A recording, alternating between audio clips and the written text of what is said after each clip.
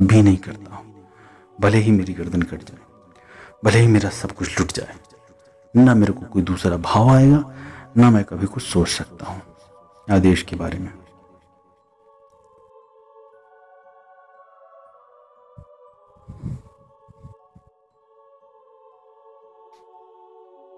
अंतिम रात्रि जब इस प्रकार से उसने मुझे दर्शन दिए और जब आखिरी मंत्र मैंने जपा तो सब शांति सा था और वो मोटी मोटी पायल पहन के मोटी मोटी ढेर सारी पायल उसने अपने पैरों में पहनी हुई थी, खूब मोटी मोटी और छम छम छम छम करके, पैर पटक पटक के, ऐसे नहीं कि जैसे कोई सभ्य स्त्री चलती है।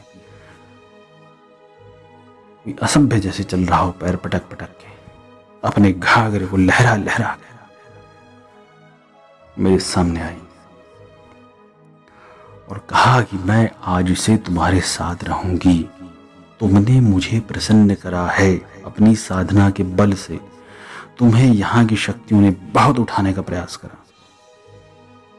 लेकिन तुमने अपने तप के बल से, तुमने अपने हट के बल से, तुमने अपने ऊर्जा के बल से, तुमने अपने गुरु और ईष्ट के बल से मुझे सिद्ध करा है। मैं प्रसन्न हूँ। बताओ क्या चाहते हो?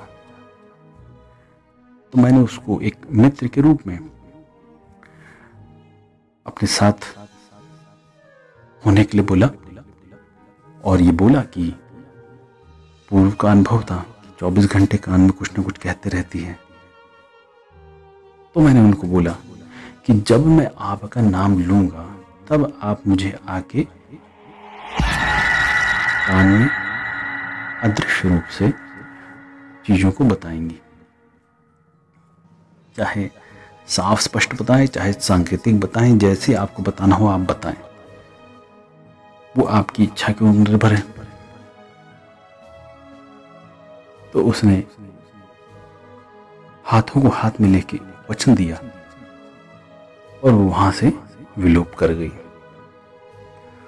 और देखा कि विलोप क्या करी कि जैसे मेरी छाया है, मेरे साथ चल रही है, वैसे ही एक मेरी दूसरी अदृश्य छाया के रूप में मेरे साथ चलने लगी।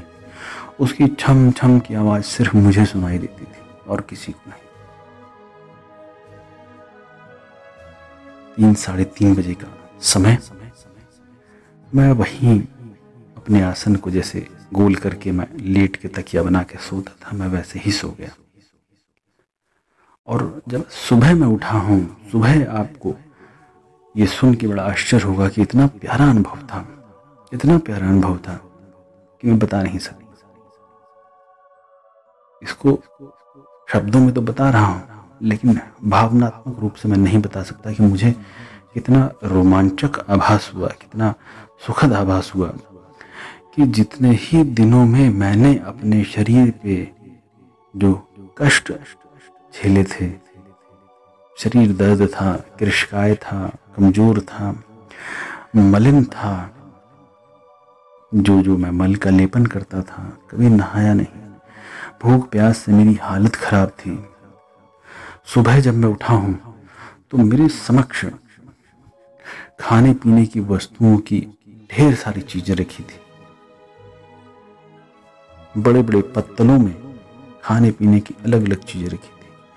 और मेरे से रुका ही नहीं गया जैसे मैंने देखा, मैंने उसको खाना शुरू कर दिया।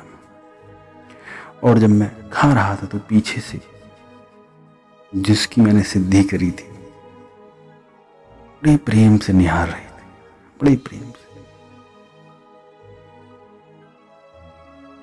मैंने भीतर से ही उसको धन्यवाद करा, भोजन पूरा ग्रहण करा। शरीर मेरा जो गंदा था, वो इस समय पूरा का पूरा साफ़ सुथरा था। कहीं भी कोई गंदगी नहीं थी। शरीर मेरा जो हड्डियों को बाहर दिखाने पे मजबूर हो गया था।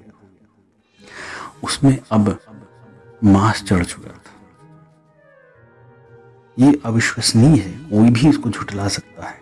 इसीलिए मैंने कहा कि मैं आपको बता ही नहीं सकता हूँ कि ये क्या अनुभव है। बस एक बात, वो छन छन और वो बदबू, वो मेरे साथ चलने लगी चौबीस घंटे। चौबीस घंटे। लेकिन सिर्फ़ मैंने जो वचन दिया था कि मुझे आप तभी बताएँगे जब मैं आपसे कहूँगा। तो मैं जब ही उनको बोलता था, तभी वो मुझे बताती थी। मित्रवत रूप में मेरे साथ रहने लगी थी। लेकिन ये जो छम छम और ये जो बदबू थी, इसने मेरा जीवन दुभर कर दिया था। मैं किसी भी सात्विक प्रकार की साधनाओं को करने के लिए बचा नहीं था। बहुत कष्ट होता था कि मैं नहीं कर पा रहा हूँ। क्योंकि हमेशा आप तामसिक साधनाओं को करने के इच्छुक नहीं रहते हैं। बहुत सारे साधक रहते हैं जो उस प्रकार से जीवन निकाल देते हैं। मेरा साधनाओं को करने का अर्थ कभी ये नहीं रहा कि मैं उसमें फंस जाऊँ।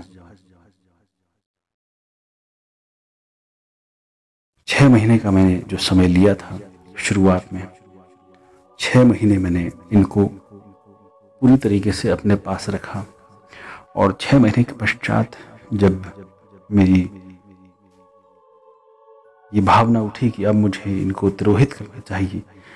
तो पीड़ादायक तो बहुत था, बहुत ज़्यादा पीड़ादायक था क्योंकि आपने जिस चीज़ को इतनी मुश्किलों से सिद्ध करा हो, जिसमें आपने अपना खून पसीना एक कर दिया हो, उसको आप छोड़ने की हिम्मत नहीं बना सकते। लोग अपना मैं नहीं छोड़ पाते हैं। लोग अपना दस बाई दस का घर, दुकान नहीं छोड़ पाते हैं। लोग अपनी कुर्सी नहीं छोड़ पाते हैं।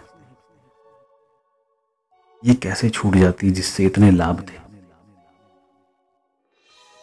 किंतु भीतर एक स्पष्टता होती है साधक के, अपनी साधनाओं को लेकर वो मेरे भीतर थी शुरू से, इसलिए मैंने कभी भी अपनी साधनाओं को अपने ऊपर हावी नहीं होने दिया। एक सीढ़ी मात्र बना के मैं इन पे चलता चला गया। इसीलिए मैं सभी अपने गुरुओं का फेवरेट भी रहा। वो इस गहराई को जानते थे। लोग पैसे के लिए साधनाओं को करने के लालच में आते हैं। कोई ज़मीन खोदने के लिए आ रहा है, कोई पैसा बरसाने के लिए आ रहा है, कोई पैसे की साधना है, कोई यक्षिणी की साधना है। उन सबको करने के लिए आ रहा है मेरे पास। और कोई एक साधक अनंतनाथ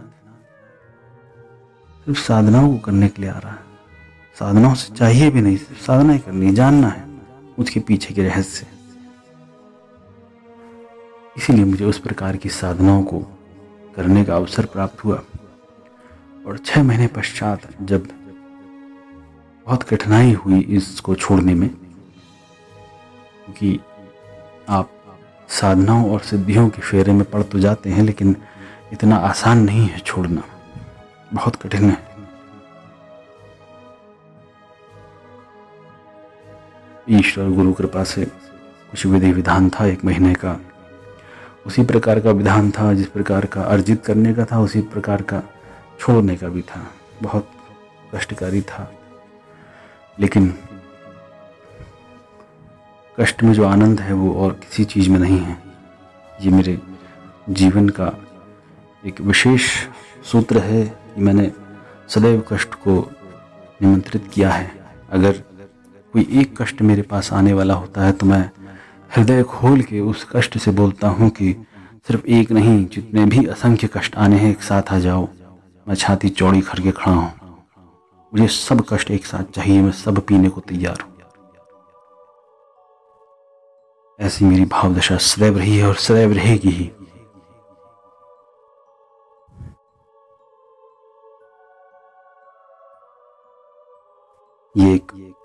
जीवन की बहुत अच्छी साधना, बहुत अच्छे अनुभव को मैंने आपके साथ साझा करा। आशा करता हूँ कि आप इस पूरे अनुभव की वीडियो में जो जो मैंने साधकों के हितार्थ बताया है, वो वो अपने जीवन में सुधार करके अपने साधनागत जीवन को आगे बढ़ाएँगे। और निवेदन है कि अगर वीडियो आपको ठीक लगी हो, रोमांचित करने वाली लगी हो, एक जानकारी प्रद लगी हो, सभी साधकों के साथ इसको साझा करें लाइक करें सब्सक्राइब करें। ज्ञान बढ़ने, बांटने से बढ़ता है। आज तक मैं भी सब छुपा के रखा हुआ था, लेकिन मेरे कुछ खास साधकों के कारण मुझे ये सब ओपन करना पड़ रहा है, क्योंकि चारों तरफ़ सिर्फ़ भ्रम फैला रखा है। भ्रम के बीच में अगर सत्यता प्रकट करते चले तो साधक को होश जागा रहेगा। अपनी साधनाओं को आगे बढ़ाते रहें। भगवान भैरवनाथ, आप सभी के जीवन में सुख, शांति, बुद्धि, विवेक, समृद्धि प्रदान करें आपके और आपके परिवार में। सब शांति हो, सुख हो, आनंद हो, मुक्ति हो, बुद्धि हो, विवेक मिले। भगवान भैरव से प्रार्थना करता हूँ। जय श्री काल भैरव। यदि आपको ये वीडियो जानकारीप्रद रोमांचक लगी हो तो ज्ञानवर्धन के लिए सभी साधकों के साथ साझा करें, सब्सक्राइब करें, लाइक करें